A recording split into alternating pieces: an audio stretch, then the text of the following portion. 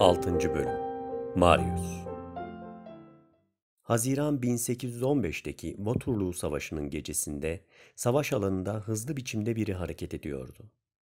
Bu kişi ölü askerlerin mücevherlerini ve paralarını çalan bir hırsızdı. Ay ışığında insan ve at ölülerinden oluşan bir yığından dışarı çıkan bir el dikkatini çekti. Elin orta parmağında altın bir yüzüğün parladığı görülebiliyordu. Hırsız yüzüğü parmaktan çıkarttı. Oradan ayrılmak üzereyken yüzüğün sahibi el ceketine yapıştı.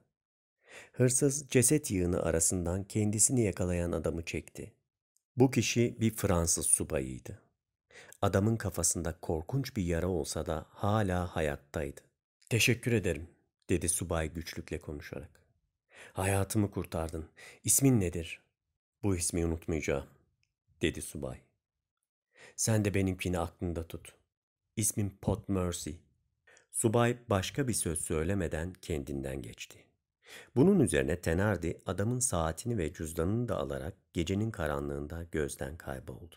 George Pot Mercy evliydi ve küçük bir oğlu vardı. Motorlu savaşından sağ kurtulmayı başarmıştı. Fakat ne yazık ki aynı yıl karısını kaybetti. Eşinin babası Monsieur Gillenormand çok varlıklı bir adamdı. Fakat iki adam birbirinden nefret ederdi. Monsieur Gillenormand, Napolyon'u seven herkesten nefret ederdi. Pot Mercy'nin parasında gözü olan niteliksiz bir maceracı olduğunu ve bir dilenciden farklı olmadığını düşünürdü. Pot Mercy ise Monsieur Gillenormand'ı yaşlı bir aptal olarak görürdü. Kızı öldüğünde ise Gillenormand, Pontmercy'ye reddedemeyeceği bir teklif yaptı. Hiç paran olmadığını biliyorum, dedi.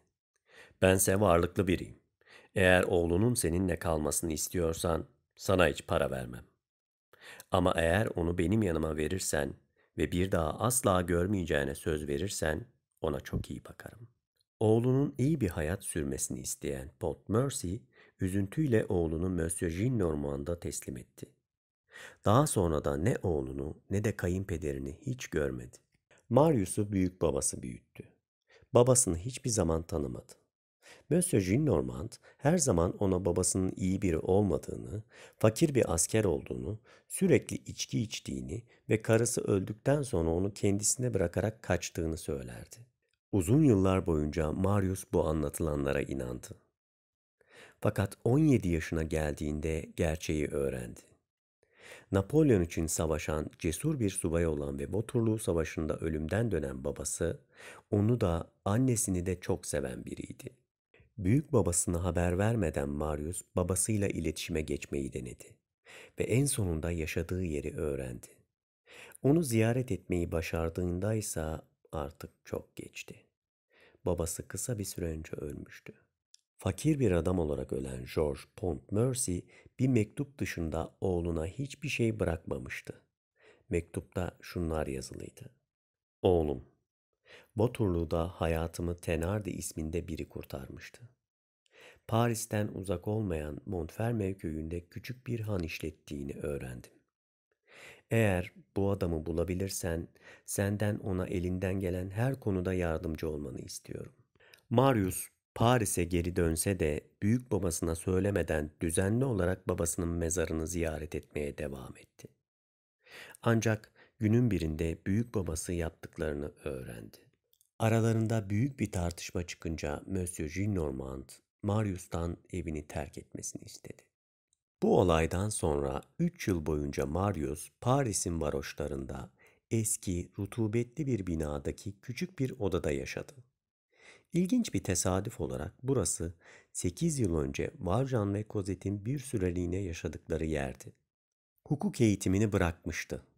Yaşamını bir kitapçıda çalışıp sözlükler yazmaya yardımcı olarak kazanıyordu. Çok fazla kazandığı söylenemezdi.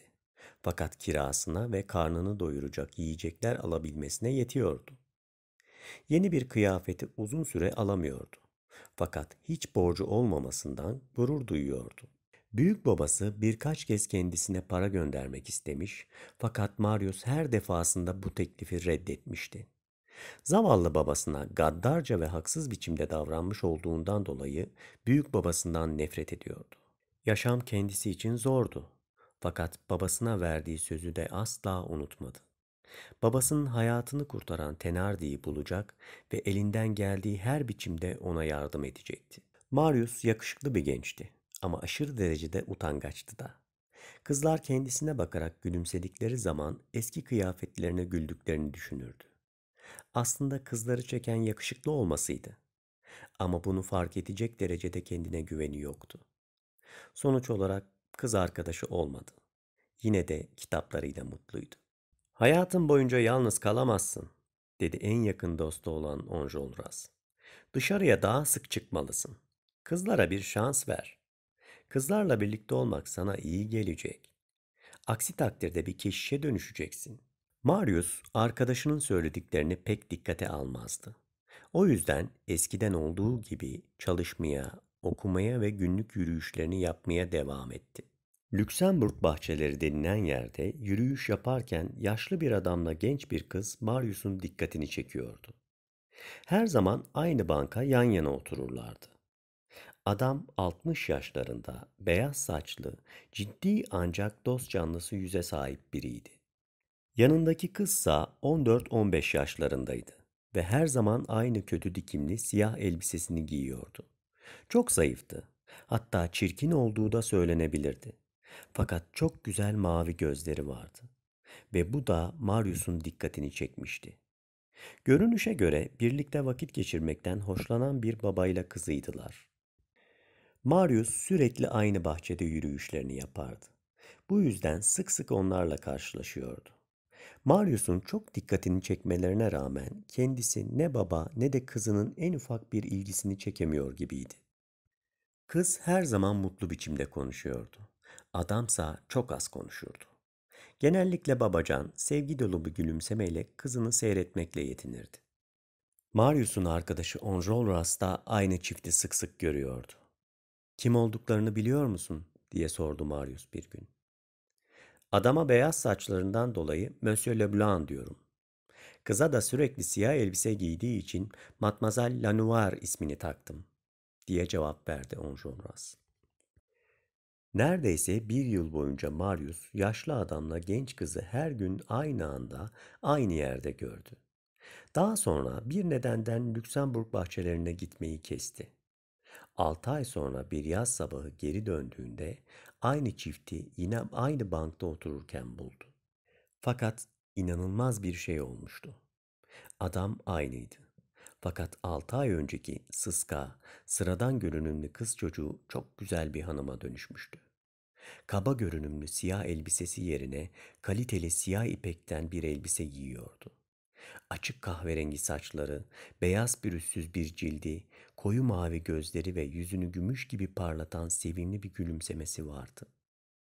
Marius yanlarından ikinci kez geçtiğinde kız başını kaldırıp ona baktı.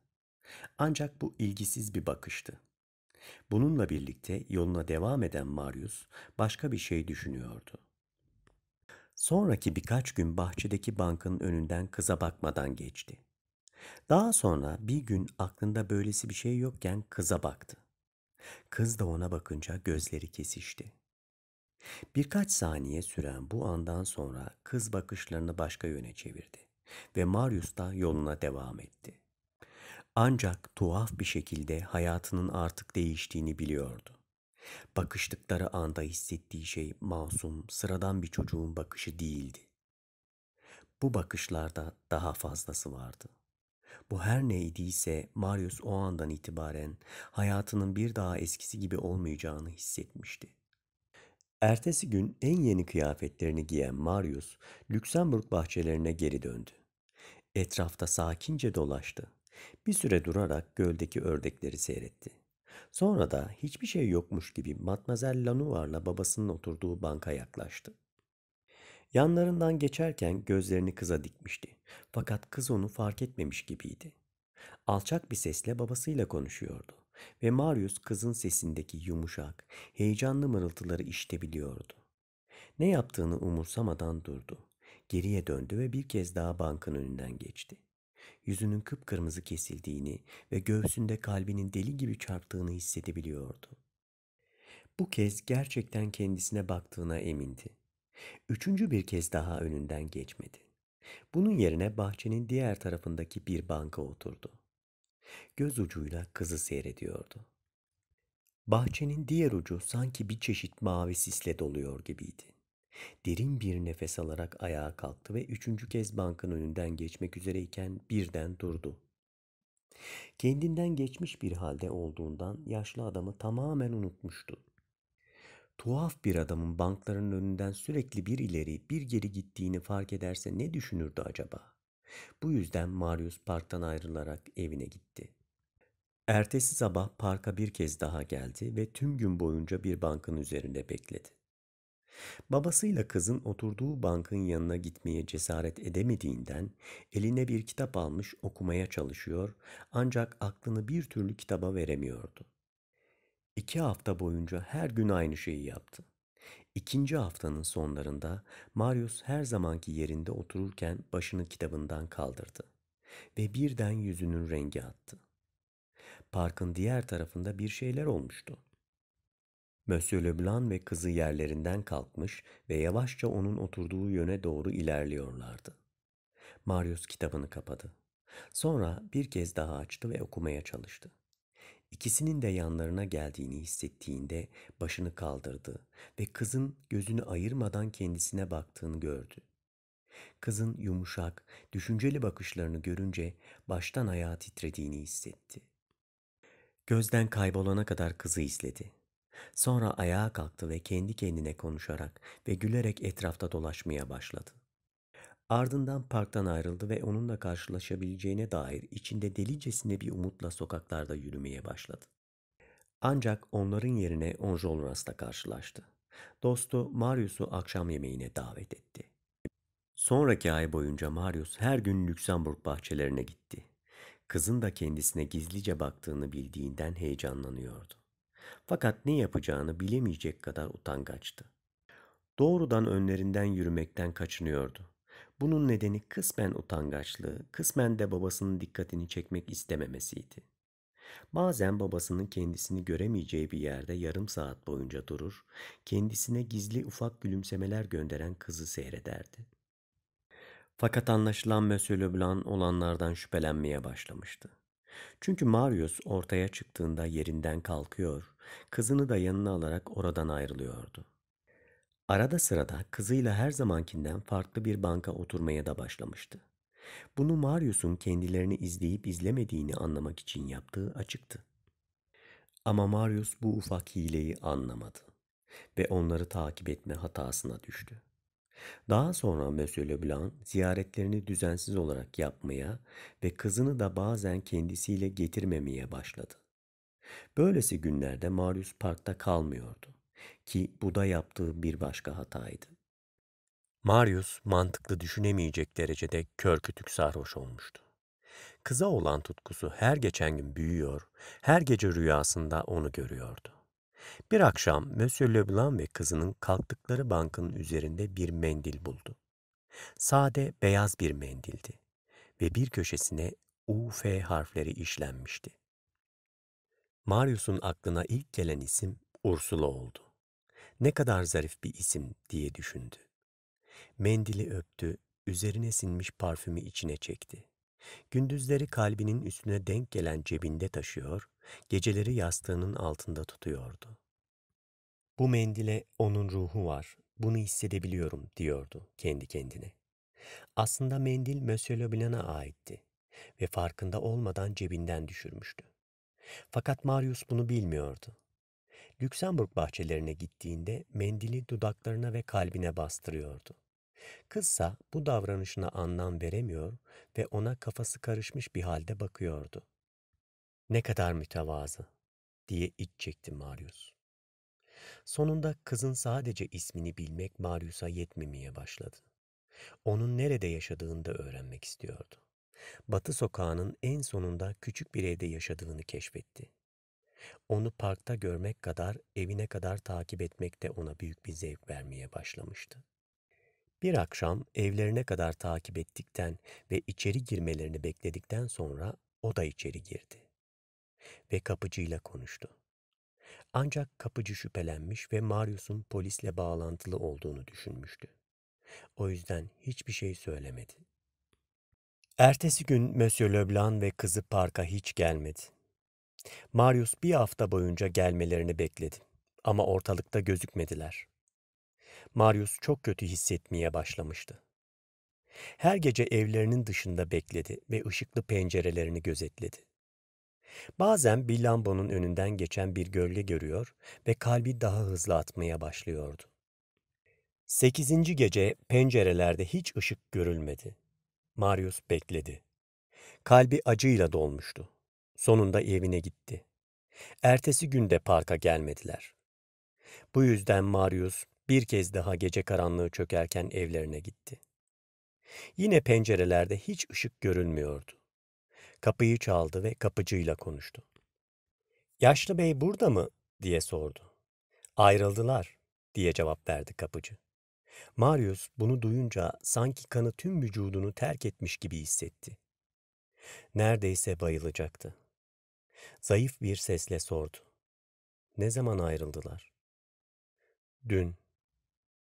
Nereye gittiklerini biliyor musunuz? Hiçbir fikrim yok. Bir adres bıraktılar mı? O anda kapıcı Marius'un bir hafta önce daha geldiğini hatırladı. Kızgın bir ifadeyle ona baktı. Yine sensin. Haklı çıktım. Sen polis için çalışıyorsun. Bu sözleri söyledikten hemen sonra kapıyı Marius'un yüzüne kapattı. Yaz bitti, sonbahar geçti ve sonunda kış gelip çattı. Fakat Marius, Monsieur Leblanc ya da Ursula'dan hiçbir ize rastlamadı. Her yerde onları aradı ancak bulamadı. Ağır bir melankoli halinde sokaklarda dolaşan evsiz bir köpek gibi olmuştu. Ursula olmadan yaşama anlamsızdı. Çalışmak onu iğrendiriyordu. Yürümekten bitkin düşmüş, yalnızlıktan bunalmıştı. Keşke evlerine kadar takip etmeseydim, diyordu sürekli kendi kendine.